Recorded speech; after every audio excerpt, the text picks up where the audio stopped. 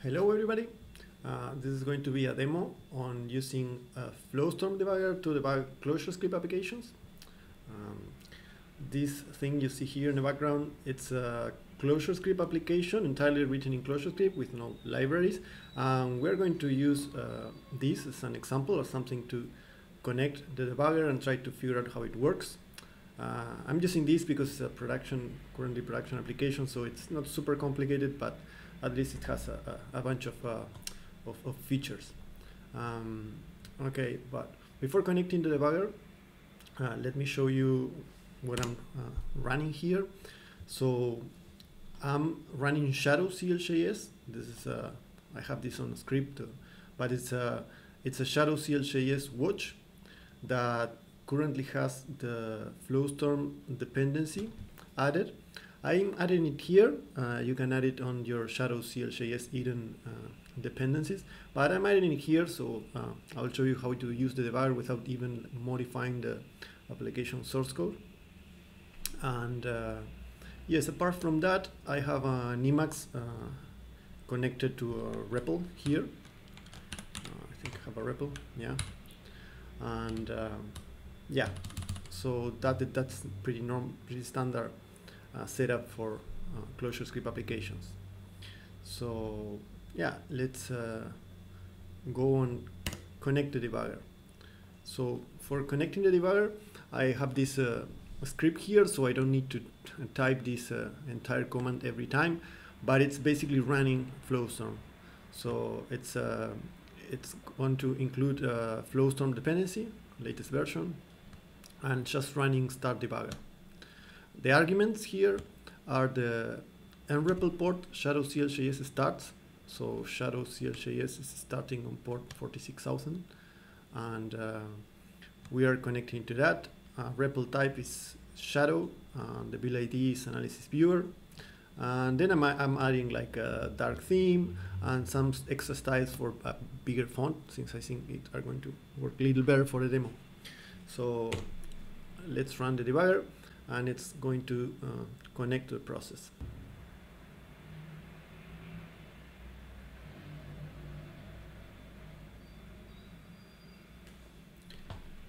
Okay, we have the debugger running here. move this aside. And yeah, as you can see, the debugger started and uh, different from, from starting from Clojure. It's uh, highlighting in green a couple of things here. This is, means that uh, it has connected to a REPL and it has connected to the runtime, so the thing on the browser. If you reload the browser page or whatever, it's going to uh, reconnect to it. Um, so yeah. Uh, um, okay, so let's uh, try to instrument something. So same thing as um, Clojure. Um, the power, you have the browser here when you can browse all the namespaces that the ClojureScript compilers knows about. And we can filter it here, so everything start with analysis viewer.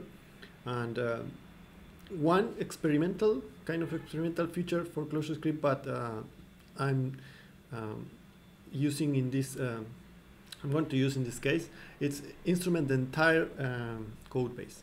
So you can click like this, select all namespaces, and go like instrument namespaces full uh, this is going to instrument everything. Uh, you can see here it is uh, basically uh, walking over every form in every namespace and instrumenting it. Uh, because uh, we are instrumenting our views also, which are reagent components, we will um, we will need to remount them after after we instrument it because yeah, the, the components currently mounted here are not the one we just instrumented. This is pretty straightforward. We can go to our uh, Emacs uh, session here and remount the, the, the, UI. What, what this is doing, it's calling uh, just uh, remounting the the reagent component. It's it's the function that Shadow CLJS is calling after each load. Uh, so let's call it once so it um, it remounts everything okay because it remounted everything now we can see here um, that the, the debugger already uh, uh, catches a bunch of stuff. So let's go to the overview tree first. And yeah, so first thing, let's go there. It's um, so it's it's it's run the mount UI function, and you can expand this. Uh, you can click here and expand this tree, and yeah, you, you can see that all all the code that executed for rendering all the views there. So you can see here like the main screen didn't got any argument, but it generated this uh, screen with these divs. You can look at the same for the top bar or collapsible tabs or whatever. But what I, I like to do here is that probably we are not interested in all this stuff, in what it took to render the entire thing. Uh, so I will hit Control L here to get rid of uh, all the debugger state. But now that everything is instrumented, uh, if I just drag the mouse here, okay, you are going to see that the debugger already reacted to a, a couple of things. So a lot of on mouse move uh, executed there. Uh, uh, you can right click here and go to trace.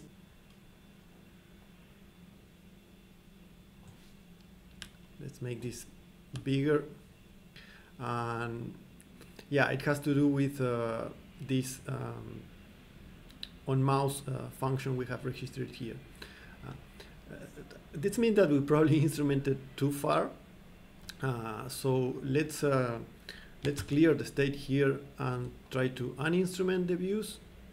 And yeah, this is a view and also this is a view and let's uh, instrument them again but I'm going to use likes instrumentation for the views, which means just the uh, outer function uh, calls and function returns. So we're not going to uh, instrument like inner functions, and we don't are, we are not going to get all these uh, uh, even uh, registration functions. so let's instrument this like. And now let's remount again okay and yeah now let's get rid of the state here and go here and as you can see uh, if we now like drag the mouse or whatever here it's not going, going to react uh, to all those uh, things. So but now let's try to uh, use the application. For example uh, what happen if I now try to scroll here? I, I will try to make a zoom on the map. So I'm making one zoom there. And yeah it, it already captured this zoom increment which is inside the events this is a re-frame application. We can go to the overview here and we can see an overview of what happened. So this uh, this event fire and then a bunch of subscription fire and probably in the end some views fire. So now we can use this to explore the application. For example uh, here we have the arguments for the event and what they even return. Uh, this is the, the re-frame uh, contains a re-frame database. So if I want to inspect this, I can click the inspector to inspect the arguments. And the first one is the re-frame database. So we can uh, use the inspector to inspect the database.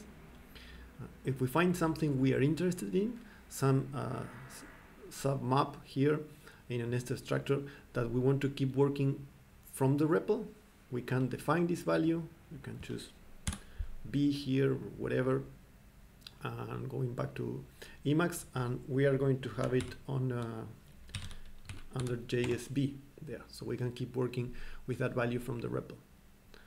Uh, okay, so if we want to step over whatever happened, we can click here, go to trace, and yeah, here we have uh, we can step over our code, try to figure out what happened with the with the event execution, and yeah, we can do that for uh, whatever code we have traced. So subscriptions and, and views and, and everything. Um, so yeah. Another thing I want to show you, it's uh, coming back, let, us get uh, rid of all this stuff. One, one way we can uh, uninstrument everything, if you're using like the, the browser and ClojureScript, is to just uh, reload the page. The debugger will figure out that you reloaded the page and, and will get rid of all instrumentation. Uh, or you can like hit here and, and try to uninstrument this one from the browser. So yeah, let's try to instrument something a little different. Uh, what happened if we are if we need to instrument a function like this parse URL query string? Uh, this is running uh, just after the the page loaded. So the problem with instrument this function is we are not going to be fast enough to come here and try to instrument and uh, and if we instrument but then we reload the page we are going to uh, replace all the functions but the uninstrumented ones. Uh, that's where we can use uh, the trace tag. So just by typing trace there and also for using the trace tag we need somewhere in the app I'm going to put it on the main we need to require uh, Flowstorm API uh, so it's, it's going to bring these uh, reader tags so the compiler knows where they are. So I'm going to save this here. And yeah, now we have instrument that. So now if I uh, reload the page, uh, we should see the, um, the debugger reacting there. Okay, so now we can step over this function, which is doing some string splits and whatnot. We can step, click around, and inspect everything. So yeah, that is how you uh, trace something that you are, when you're, I mean, this is useful when you're constantly reloading the page because if you try to instrument from the browser, you need to instrument here and then you're going to reload the page and you are going to lose instrumentation. So you can you can just type trace on top of the functions we are working with and then you can safely um, reload uh, your page. And uh, yeah, so the last thing I want to demo here, it's a tap functionality that's also pretty pretty useful. Uh, let's get rid of this. Um, so yeah, uh, you can you can use this taps tab. Let's say we want to let's go to a different file and here. So we have we have here an, an animation. This has some animations and, and you can control the speed of the animation by clicking on this uh, on this thing. How many days per second is going to simulate. And um, yeah, let's say we want to, uh, every time the animation change, we probably want to see how the uh, database, for example, uh, has changed. So we can tap it here. This is going to just use Clojure tap, but it's going to return the value. And this is pretty handy because you just leave that there and whenever you change the animation speed here, you are going to see a tap here changing. Okay, whenever that piece of code runs.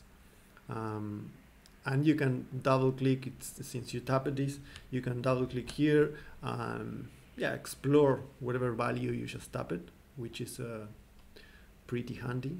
Again, you can define it for the REPL if you if you're interested in keep working from the REPL.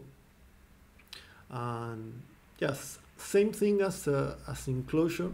We can use, I'm not going to demo this here because I demoed it in a different video, but you can, by using the REPL, you can connect to the, um, you can use the uh, indexes API, uh, so you can write code that explore whatever you have just traced uh, in, in, case the, in case the, the debugger UI doesn't provide the functionality uh, and you want to do something else. Um, but yeah, that's all I had. I hope uh, people find this useful. Uh, yeah, see you on the next video. Cheers, bye.